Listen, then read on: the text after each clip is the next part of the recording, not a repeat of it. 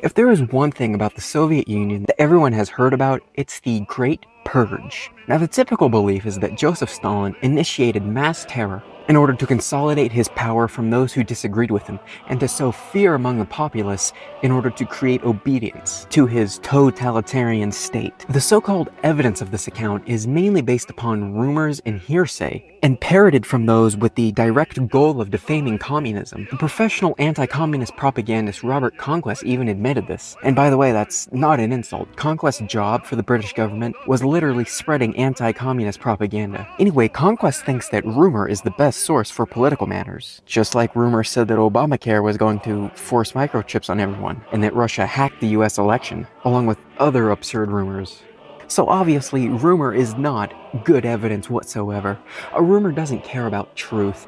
It gets spread because it's sensational. The absurdity of the rumor is precisely why it becomes popular and spread. The anti-communists are just clearly grasping at anything which remotely supports their assertions. Instead of writing history on things that someone's cousin's former roommate's wife said, we should look towards actual contemporary eyewitness accounts and primary source documents. Now these source documents are now available to us and they have been the subject of much study. So too do we have first-hand eyewitnesses. But before we can get into any of this and what they show, let's investigate the reasons and motives of the purge. So this notion that Stalin was behind the purge to rid opposition is actually quite difficult to believe because the opposition never had any mass support. That Stalin had the party membership solidly behind him in this controversy with Trotsky and his group is shown by a 1927 party referendum in which the Trotskyist program was defeated by 725,000 votes to 6,000. In view of Trotsky's contentions, the vote is surprising in showing how tiny the opposition forces were in reality.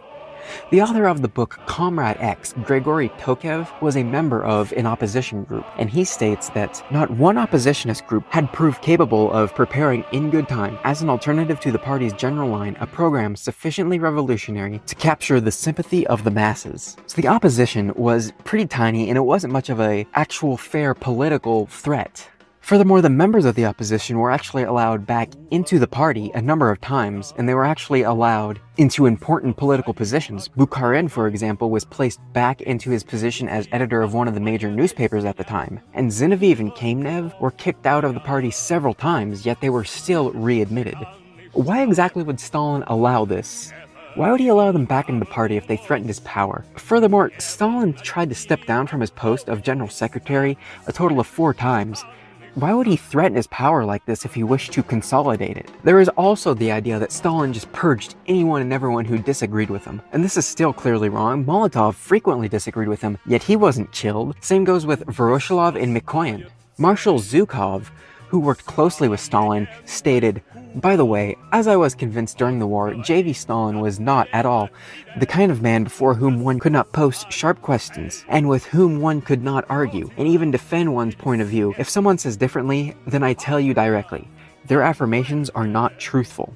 And Khrushchev, who is clearly anti-Stalin, himself actually agreed with this. And here's something interesting, which was also characteristic of Stalin. This man in a flare-up of anger could do a lot of harm, but when you demonstrated to him that you were right, if you abducted good facts, he would understand in the end that this was a man who was defending a useful cause and would support you. Yes, there were cases when you could firmly disagree with him, and if he was convinced you were right, then he would yield his own point of view and take the point of view of his interlocutor. So the opposition didn't actually exist in any sort of fair political sense. That is, pose an actual non-violent political threat backed by the masses. The only way for them to actually pose a threat is if it existed in an insurrectionary sense. So this begs the question, did there really exist an active resistance within the Soviet Union that needed to be rooted out? Well, before looking at the Soviet Union, it must be realized that in any sort of political change, there almost always exists an opposition that seeks to resist said change. This is regardless of ideology or what kind of change it is. In the American Revolution, for example, many loyalists were harassed and repressed. Thomas Allen's book, Fighting for the King in America's first Civil War details multiple cases of opposition forcing 5% of the white population to flee to Canada or back to England. Later on, the government enacted the Sedition Act, which violated the First Amendment by censoring the press. The French Revolution also utilized the same tactics. Historian Howard Brown lists several cases of the French state using the military to disperse illegal gatherings, seize criminals, and fight banditry, siege towns, and patrol the countryside. And President Lincoln also did this during the American Civil War with the suspension of habeas corpus, which essentially denies the rights of political prisoners. And of course, there were the Palmer raids where the US government repressed suspected leftists. These were responses to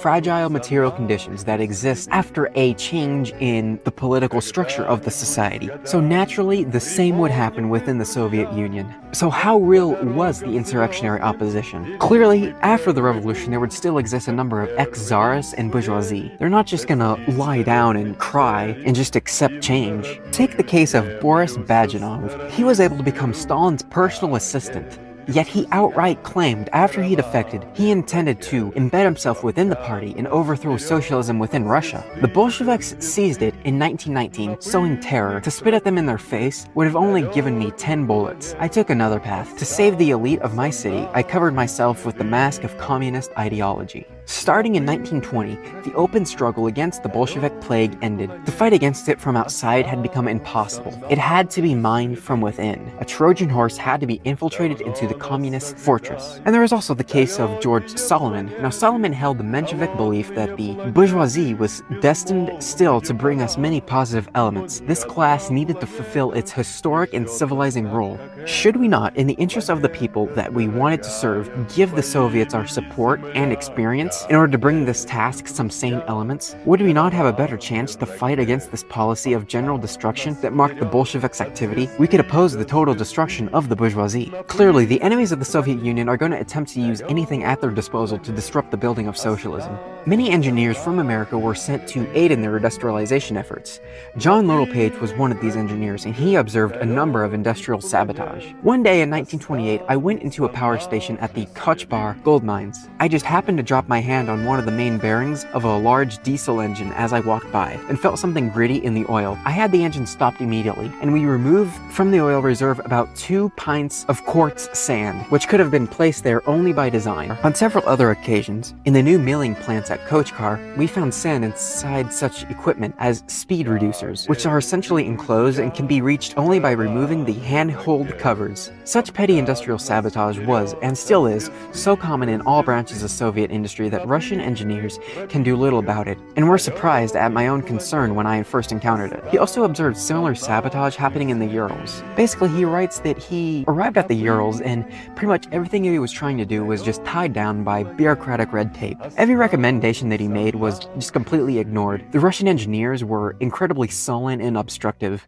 He states that the mining methods used were so obviously wrong that a first-year engineering student could have pointed out most of their faults. A new manager had come onto the workplace and basically got the engineers to go along with his suggestions. And at the end of five months, I decided I could safely leave this property. Mines and plant had been thoroughly reorganized.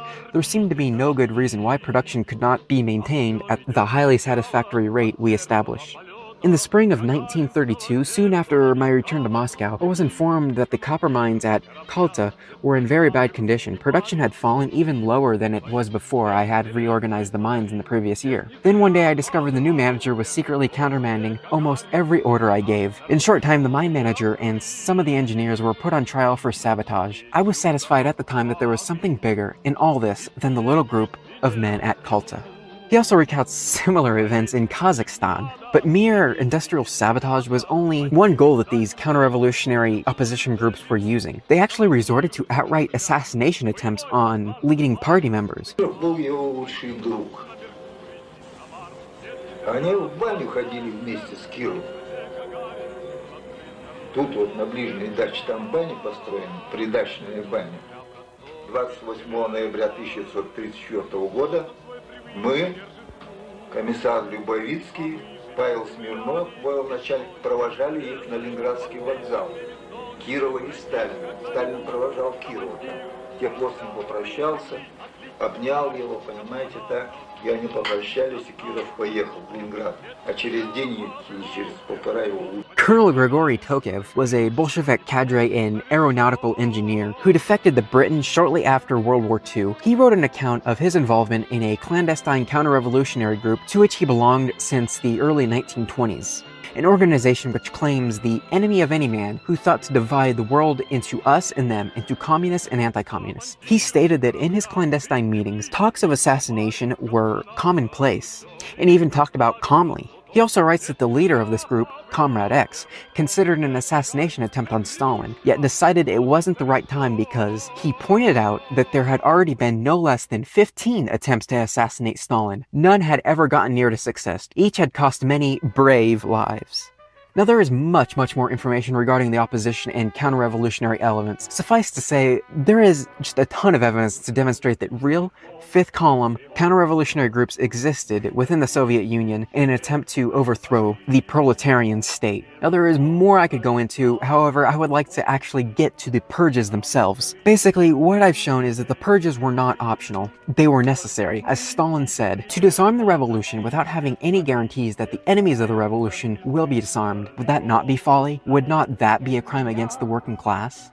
In regards to the purges themselves, what exactly went wrong? Because we hear all these stories about these atrocities committed during the purge, so who exactly is to blame?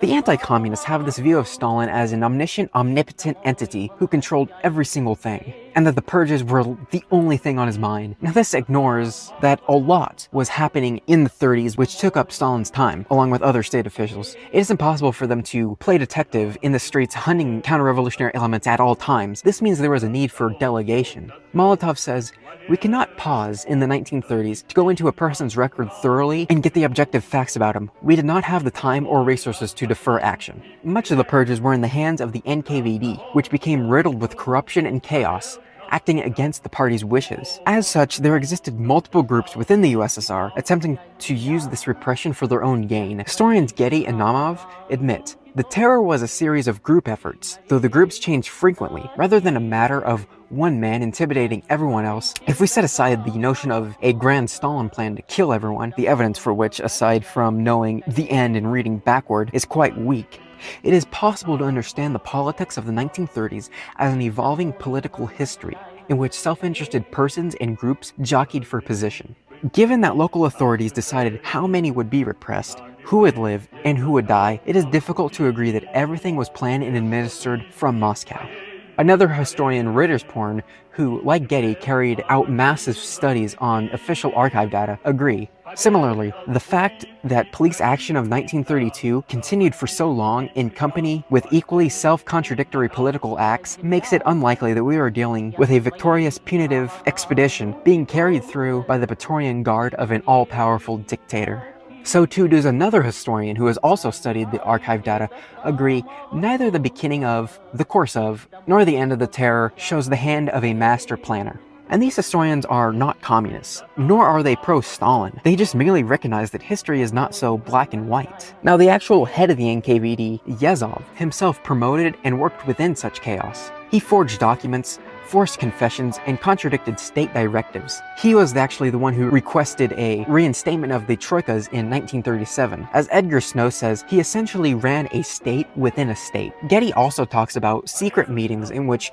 Yezhov would advocate for disobeying the legal restrictions placed upon repressions. A very anti-Stalin researcher, Kastov, also acknowledged the fact that Stalin was being deceived by the members of the NKVD. Now the question is, did Stalin actually strive to investigate the NKVD? Well, actually, yes. Stalin did strive to undergo audits of the NKVD. The Central Committee set up a commission to investigate possible corruption. Once sufficient evidence was discovered, Stalin removed Yezhov, disavowed the latter's excessives, ordered the arrest of the purgers, and released a number of those falsely arrested. And Yezhov was questioned and executed for his crimes. Yezhov confessed to being an agent of Germany who had plans to carry out a coup against the Soviet Union. Now, I know many will probably think the confession was forced, however, his confession was not released until the archives were open. Many had no idea that Yezhov was actually executed in the first place. Many thought that he was hauled off to a mental institution. Anti-Stalin historian Roy Medvedev states that Yezhov complied during the arrest and was not tortured.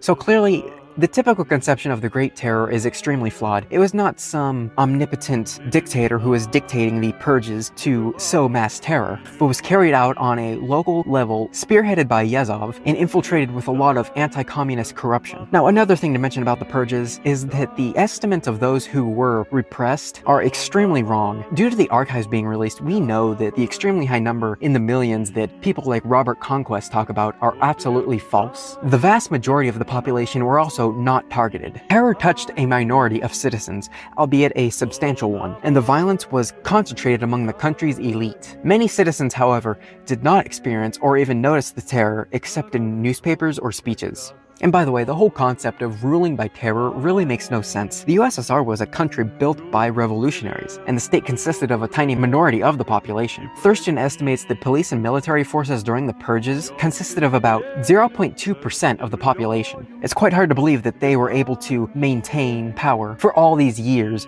through mass terror and repression. And Stalin himself makes a really good point about rule by terror.